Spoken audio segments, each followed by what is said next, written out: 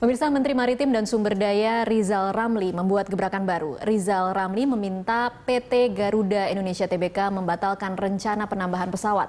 Rizal mengaku telah membatalkan rencana pembelian pesawat Airbus 350 oleh Garuda Indonesia. Kita akan membahas mengenai gebrakan Rizal Ramli ini dalam dialog petang ini bersama pengamat penerbangan Gary Suyatman. Selamat sore Mas Gary. Selamat sore. Iya, Mas Gary kalau kita mau membaca apa latar belakang atau apa dasarnya sih sehingga gebrakan pertama Menteri Maritim loh ini Menteri Menteri Maritim yang dipilih adalah masalah penerbangan udara.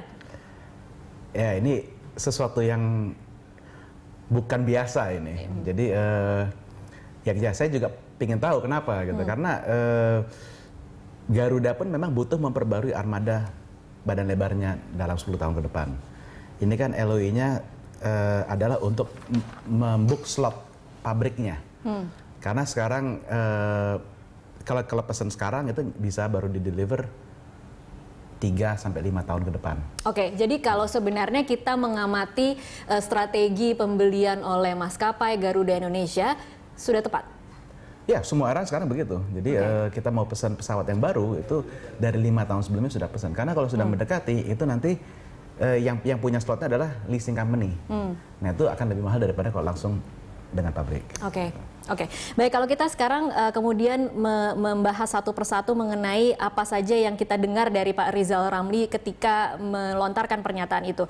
Ia mengatakan bahwa uh, ia ingin menguasai pasar regional dalam 5 sampai 7 tahun, kemudian setelah kita kuat baru kita hantam ke pasar internasional. Kira-kira masuk masuk uh, uh, common sense tidak ya bahwa dengan pemikiran seperti ini kemudian batalkan saja pembelian uh, Airbus A 350? Menguasai pasar regional dalam waktu berapa tahun? Pertanyaannya hmm. itu. Hmm. Untuk ekspansi ke pasar internasional dalam waktu berapa tahun? Hmm. Sekarang begini, armada badan lebarnya Garuda itu sekarang terdiri dari kalau tidak salah hampir 20 Airbus A330. Hmm. Lalu dengan 10 uh, eh, sekitar apa pesanannya 10 untuk Air, uh, untuk Boeing 777. Ya.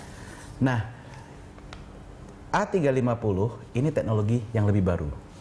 Perbedaannya di mana? Perbedaannya di efisiensi penggunaan bahan bakar. Oke. Okay. Jadi ini sekarang yang menjadi kompetitif edge dari masing-masing airline tidak hanya service tapi juga cost apa fuel burn dari masih dari armada yang digunakan. Hmm. Nah kalau misalnya ini dibatalkan, ibaratnya slot indennya dibatalkan, lalu nanti baru 10 tahun baru lima tahun. Ternyata kita sekarang, butuh. Ternyata butuh. Hmm. Mau nunggu berapa lama lagi?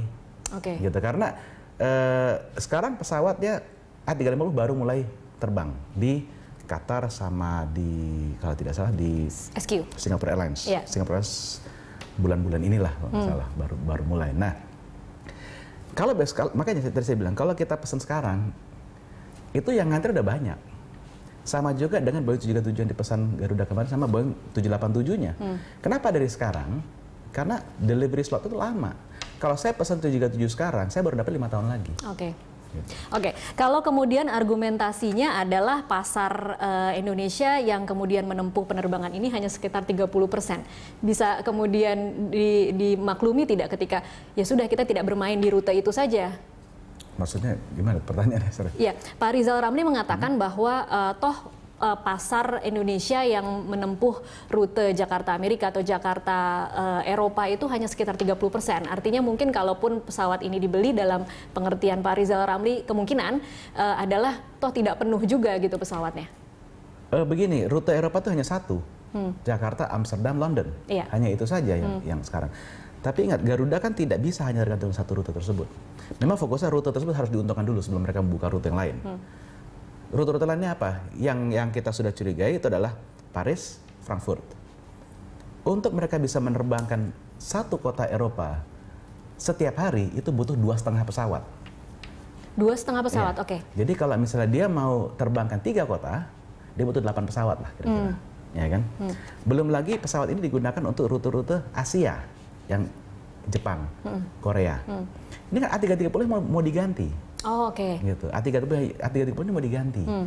Karena apa? A330 yang yang yang paling ya apa yang 6 yang pertama itu dari tahun 96. Oh oke. Okay. Dari tahun 96 sampai tahun 2000. Hmm. Ini sudah waktunya kita ganti. Sudah 15 sudah ada yang hampir 20 tahun usianya. Ke. Gitu. Jadi Oke, okay, jadi ini sebenarnya adalah bagian dari rencana peremajaan pesawat juga. Iya, jadi uh, memang kalau kita lihat jumlahnya dia pesan 30 7 A380 dan 30 A350 hmm. ini sama dengan net increase 30 pesawat. Iya. Tapi kan ini kita bicaranya untuk dari tahun 2020 sampai 2000 malah mungkin 2022 kalau tidak 2022, salah. 2022 ya. Nah, sampai 2030. Oke. Okay. Gitu. Ini kan masih masih lama. Masih lama hmm. gitu. Jadi mungkinkah kita bisa menggunakan itu semua armadanya dalam sampai tahun 2030? Iya, mungkin saja. Hmm. Karena kita juga lihat bahwa banda apa jumlah bandara di Indonesia tidak bertambah. Hmm. Rute-rute yang uh, padat akan harus dimulai dilayani oleh pesawat berbadan lebar juga. Oke. Okay. Gitu. Memang banyak bilang pesawat berbadan lebar, pesawat berbadan lebar kan hanya turut jauh. Tidak juga kita SQ Singapore Airlines. Jakarta Singapura saja pakai pesawat triple apa triple seven hmm. gitu. Jadi uh, dan juga Lion ambil Airbus A330. Hmm. Untuk rute apa? Untuk rute domestik. Untuk okay. rute apa? Yang yang padat. Oke. Okay. Jadi sebenarnya pembelian pesawat berbadan besar itu uh, tidak salah.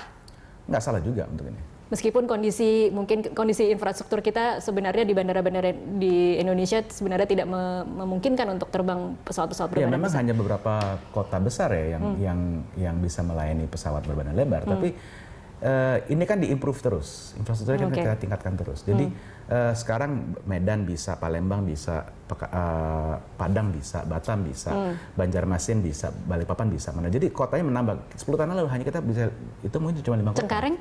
Tentu. Tentu. Tentu. Kondisi kondisi uh, Just, runway-nya justru itu akan justru itu akan membantu karena okay. pesawat triple seven ini unik yang sekarang lagi dipakai oleh Garuda. Hmm. Yaitu tuh beban dari rodanya ke landasan hmm. itu berat sekali hmm. karena juga jumlah rodanya. Nah, okay. pesawat yang lain itu tidak ada yang bebannya itu sebesar itu ke uh, landasan. Hmm. Jadi itu satu. Kedua, yeah satu slot bisa mengangkut lebih dari dua, lebih dari 250, 250 orang. Yeah. Di mana kalau pakai 737 cuma 180 orang. Hmm. Itu akan membantu mengurangi kepadatan juga. Jadi sebenarnya uh, tidak ini pesawat pesawat ini tidak harus dipakai untuk rute panjang saja. Oh, Oke, okay. ini Boeing 777 atau uh, A350 ya, Boeing, Boeing 777 yang yang sudah ada, Boeing 787 yang yang juga dipesan hmm. kemarin dan juga Airbus A350. Oke, okay, baik. Kita akan lanjutkan perbincangan ini di segmen selanjutnya. Pemirsa tetaplah bersama kami.